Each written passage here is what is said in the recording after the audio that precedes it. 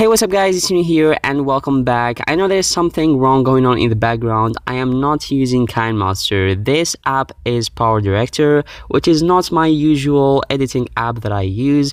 This is actually a pretty old um, video editing app, but I never mentioned it on my YouTube channel. However, a lot of you guys told me to give it a try, so today I'm trying to make a video with Power Director. I'm going to be teaching you how you can make an intro on Power Director. Without being said, let's get started in this video.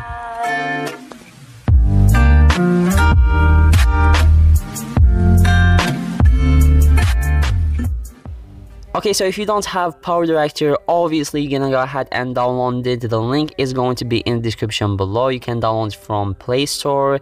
And then once you do that, go ahead and just open up the app and import on it this animated background.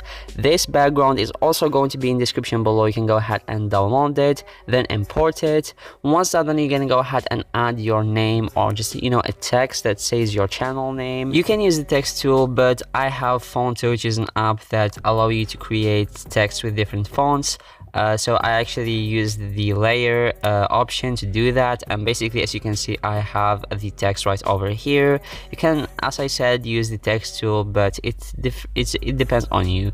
So next up you're gonna go ahead now and hit on the layer button and this time hit on video. And then you're gonna go ahead and import a background that I'm also going to be including in description below. So you can go ahead and download this background and import it as a video layer. And video layer uh, unlike KineMaster, Video Layer should be available for all Android devices. So this is how it's gonna look like.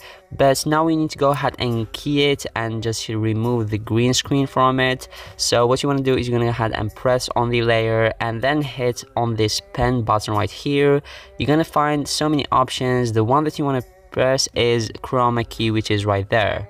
And then as you can see you're gonna go ahead and just hit on that pen and just point it at the green screen and hit on it again. And as you can see the green screen will disappear and you're gonna end up having something like this.